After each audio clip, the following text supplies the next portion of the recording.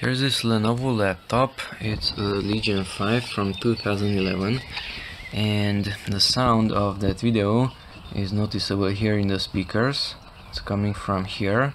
But usually if I insert a pair of headphones then the sound is interrupted mechanically from the speakers and usually it's sent to the headphones. But in this case the sound is still coming from here. So unplug or plug in no difference. The sound is coming from here.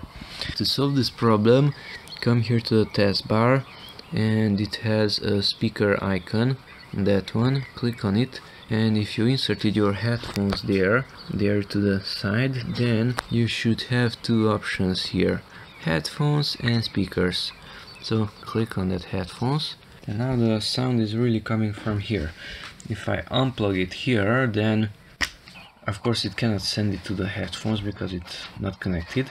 In that case it will come here. So whenever you select headphones from there the sound will be really interrupted and sent there.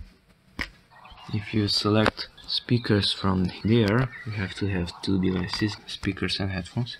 If you select speakers from there, then headphones out, headphones in, no difference, the sound is coming from here.